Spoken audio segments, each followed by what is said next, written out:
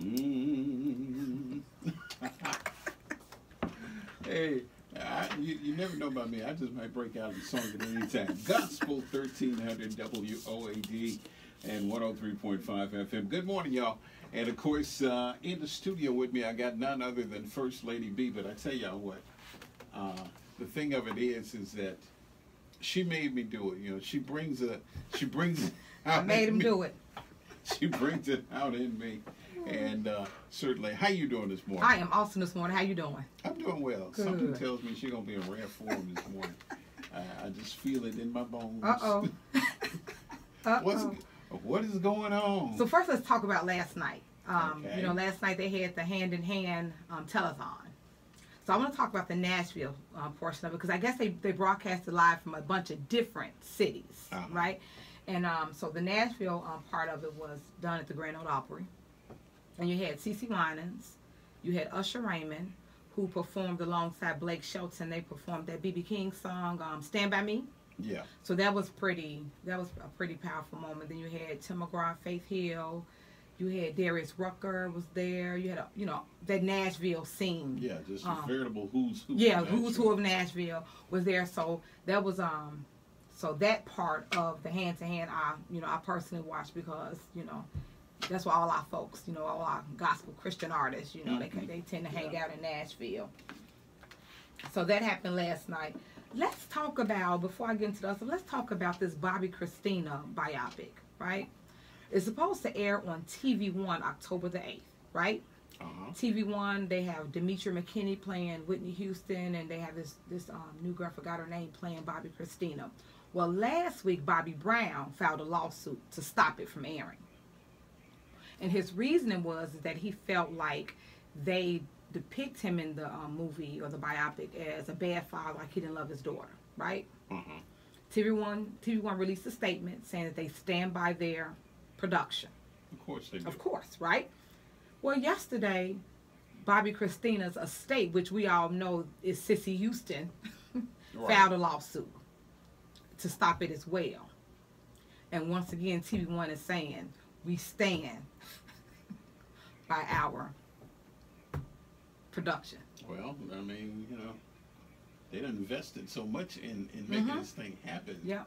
that uh, you know uh, it may be in court for a while, Mhm. but they gonna show it one They're of gonna show it. They're gonna show it. So, so that's that's what I want to know. So, they filed this suit. So, are they still gonna go forward with the with you know with the October the eighth premiere day? I mean, Well, there's going to have to be, uh, the, they're going to have to wait for the courts to act on, on those uh, motions. yeah, I've been watching Law and Order. yeah. You know? but but they, I, I, I- do believe it. And if I'm, if, if I'm wrong, uh, one of our, our, our legal legals can, can give us a call here. 601 1300 Right. And tell me I'm different, I'm wrong. Yeah, 'cause I wanna know. But I, I think they've got, they've got to wait until the court acts one way or another oh wow. on, on that. On the oh wow. And um, so, Well, I'm, You know. I'll be honest. I'm I'm actually looking forward um, to seeing it because they, of course, you know, it's all about Bobbi Kristina's early life, and and it's really um, evolved around them raising her, and Uh-huh. you know, and and Bobby did admit a while ago, if I re- if I recall, I think it was last year, you know, that him and Whitney, you know, could have been better parents. Well, you know, and typically, uh, you know, this parenting thing is uh, this. This was a road that that you know really didn't have a, a good roadmap for them. Yeah. And that, uh, you know, when you when you're trying to raise raise children, you know, in that kind of limelight, you know, Mhm.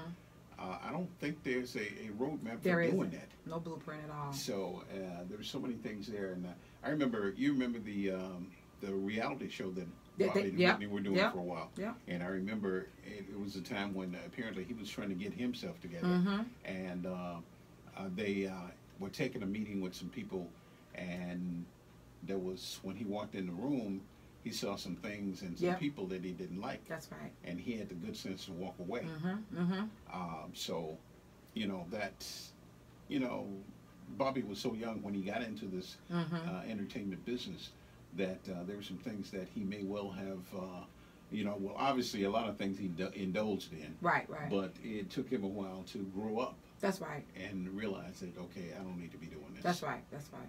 That's right. Amen to that. Yeah. All right.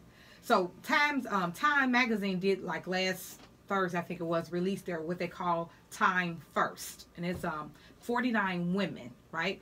Who were the Okay. first at at doing something, right? And Aretha Franklin was um my girl Aretha Franklin was um, one of those uh, 49 women featured, right? hmm Because I guess she was the first female to, to be inducted into the Rock and Roll Hall of Fame Okay. right?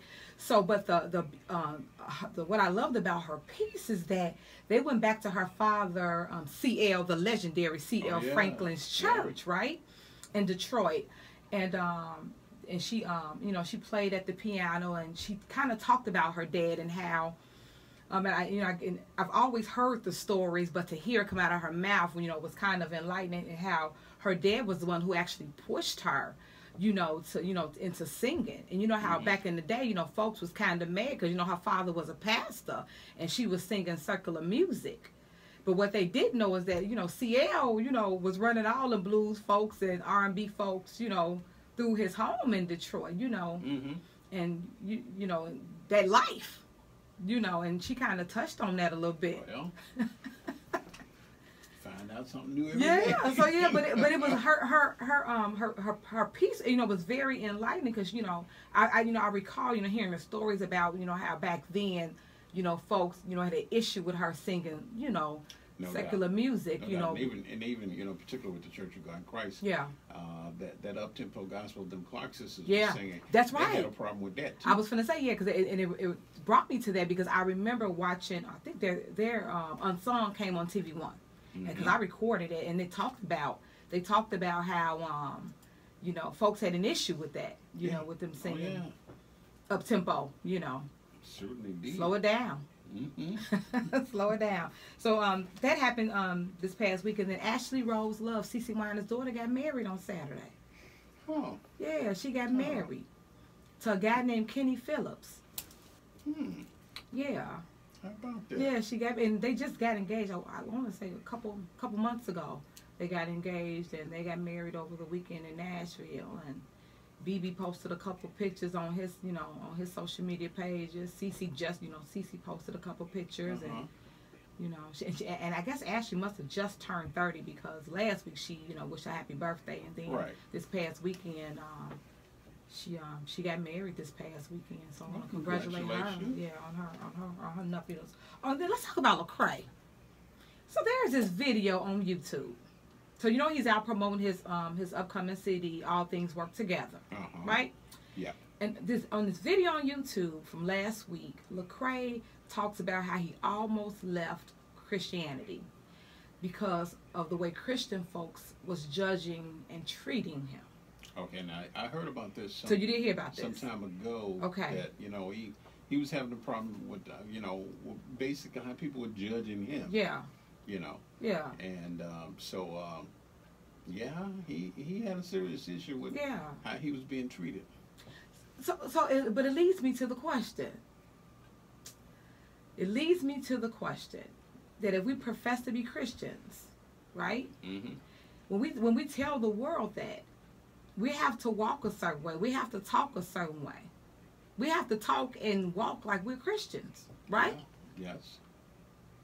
And then there, there, and there also has to be accountability, right? Yeah. So like if you see me somewhere and I'm not acting Christ-like, First lady, come on now. what you doing? what girl? you doing? Reel it on in, you know. So I, you know, all too often though, Yeah. you, you know, even you know, it. I think it takes a very special friend and special relationship between people yeah, where you will feel comfortable enough to say, "Hey, Percy, yeah, man, what you doing? yeah. What you doing? You know that ain't cool." right? That's right. You know, and all too often nowadays, uh, people don't have those close relationships where they feel comfortable basically getting in your business. Yeah, yeah. That's true. You Yeah, know, it's, true. it's they we got this live and let live attitude. yeah, that's true. and um, so, you know, uh, admittedly, um, some of the things, some of the music that Lecrae was doing. Mhm. Uh, you know, millennials. You know, and because you know, I got a couple of kids in in in that bracket. Yeah. Uh, they were receptive to what he was doing. Mhm. Um, I know my daughter loves Lecrae. Yeah. There's some stuff that I like personally. Yeah. Yeah. But the um, as as as a rule, a lot of uh, his music was not uh, finding acceptance. That's right. You know, because uh, back you know when Lecrae would really first got hot, uh, a lot of radio stations around the country, Wouldn't him, right? gospel radio stations, uh, formatted stations, would Mhm. not play him, Mm-hmm.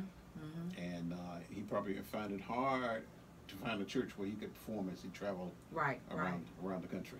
was probably the reason why him and Andy Mineo used to end up going overseas a lot Yeah. to perform. That Mhm. makes sense. Okay. Mhm. All right, so let's talk about Greenleaf. T- today's Wednesday. Yes. Today's Wednesday. So last week old Basie Skanks then resigned. Yeah, basically, Skanks caught a beat down and had to lead. Had to leave town. Look, left his wife band and everything. yes, indeed. He had to come to Jesus meeting. Yeah. It didn't go well. Yeah, didn't go well. didn't go well. no. And look, I said, um, Who saw that coming who, though? I, you know, can I tell you, I didn't see that coming because he's so arrogant on the show. Yeah. You yeah. know, I had I, I didn't see it coming. I had no idea it was coming. And then and, and then to see um I always forget his name, the bishop's son, Pope Pope Child. I always Yeah. forget his name. But you know the thing about it, when you run into Big Brother Love to hurt you so Come much, Come on. He put some pressure on He you. put- yes, you Lord. to- if you can't come up with what you owe him, you, Yeah. you gotta leave town. You gotta leave town. I mean left his wife, everything behind. Just get out of there. He's like, come on, I'm gonna leave you. Yeah, yeah. And so he left. He, But- gone. But it, it, it, it is it really got interested. And also, Yeah. we were talking before we got on the air, y'all, uh, about Deborah Joy Winans' character. Yes. And uh, you know, this girl's looking for love, She looking for love, baby. and she and she she drew a bead on that producer, Ooh-wee. and and uh, hey, Look, how- look. he got got. That's right. Look, if she looking for love so much, her whole wardrobe style has changed. Yeah, she and like, like we said earlier too, you know, she's lost weight. She's lost weight. Yeah. Um, her hair know, different. yeah, clothes you know, different. They, they they accentuated the voluptuous factor, Yes, Lord. you know, when it came to her. hmm And uh, fortunately, when they had that that heart to heart talk, she found out indeed the guy was interested. Yeah, you yeah. know, he said he lied to her. Yeah, yeah. You know? That's all she needed. So that's all she needed, you know. That's all she And of needed. course, that came on the heels of a uh, of a scene where Jacqueline Carr was, Jacqueline Carr, was yes. was there, and she was, you know, she uh, was talking about the song. Uh, of course, uh, Mhm. uh, De- Deborah Joy's character wasn't feeling the things she had to say about her song. She was jealous. Let's be You know. real. Deborah Deborah had that you invade my you let's be real. Deborah was Okay, being well, territorial. Okay, now see this this is this is male female perspective. Yeah. Y'all. I thought that you know my thing was that Deborah had it in her mind that this is this was the perfect song the way she had she had uh, you know written Mhm. and recorded it. Yeah. And when Jacqueline came in and wanted to wanted to Jacqueline change said, let's change some stuff. and uh, so she did uh, her character did not appreciate. She ain't like that. And you know what else she ain't like?